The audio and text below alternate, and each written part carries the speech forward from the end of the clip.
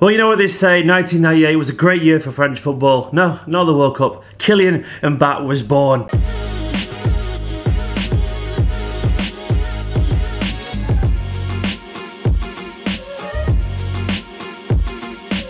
Hello there guys, it's Stephen and welcome back to Club Footy. We just witnessed an absolutely astonishing game of football. It's finished 4-3 to France against Argentina. They are through to the quarterfinals of the World Cup. It was just absolutely scintillating. But before I go too far, if you want to win the Germany shirt, yes, the infamous Germany away shirt, all you gotta do is like this video, just get in the comments, chat to people, subscribe, follow us on Twitter, Facebook, all that kind of stuff. But mainly, just like this video and subscribe and comment. Uh, and that's all you could do to win it. We'll be announcing a winner very soon after the success of the Nigeria shirt, we thought we'd give that. But let's get on to the actual game. Yeah, where to start there? What a game of football. Possibly the best game of football so far.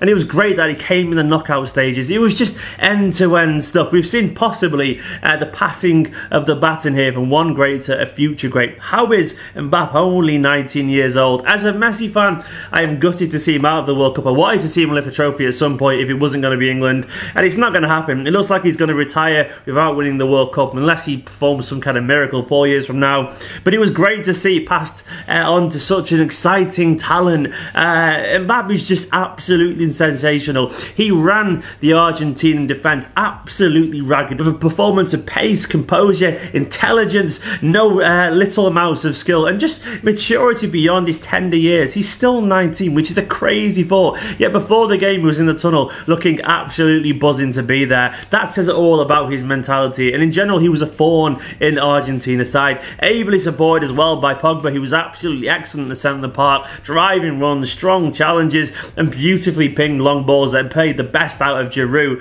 uh, and Mbappe up front. Gotta say as well, shout out to Pavard with an absolutely sensational finish. That goal was just sheer art. The, the spin on it, the side view, the slow motion angle, which he posted on Twitter. It's just something else. A beautiful, beautiful goal uh, and worthy of a game of this kind of quality. It was end to end, and there was some moments where the defence wasn't what it should have been, maybe, but it didn't matter. It was one all at half time. Obviously, that incredible back run led to a Griezmann penalty, a brain fart from Rojo. What was he doing there, dragging him down? Should just let him go. Uh, but then that was followed up as well But that's uh, just incredible uh, ping from Di Maria from 20 yards. That was so aesthetically pleasing to watch.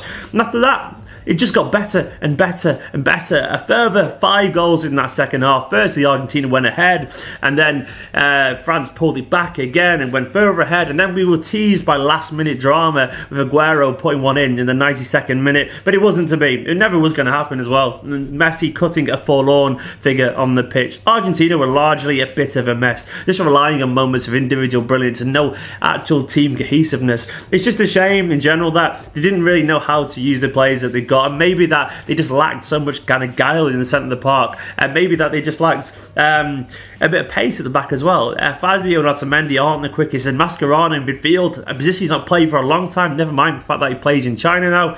Well, that was a slow call there, and it had nothing to answer to France's athleticism and pace in the middle. Messi didn't know where to be, false nine, or maybe dropping deeper to create play, and that's probably where he should have been. Maybe where Argentina actually lacked, given the fact that they're the days of their beautifully gifted number 10s like Riquelme or Aimar or someone like that, they seem to have faded away a little bit at the moment, and that's what Argentina needed. They needed that uh, skill alongside Messi to maybe create something. But in general, France were good value for their win, and they deserved to be through. It was a scintillating game of football. Let me know what you reckon. I, I absolutely loved that. I loved it. It was a fantastic game. Of course, as well, I'm at home if you're wondering why I'm not in the Club Footy studio because, you know, it's the weekend. We're all enjoying it. Uh, it's just so good to watch that game, wasn't it? Let me know in the comments what you thought. Let me know how far you think France will go and how good Mbappe actually is. Guys, like this video, subscribe if you're new, and don't forget you could win the Germany shirt and many more shirts in the coming days as well. See you next time.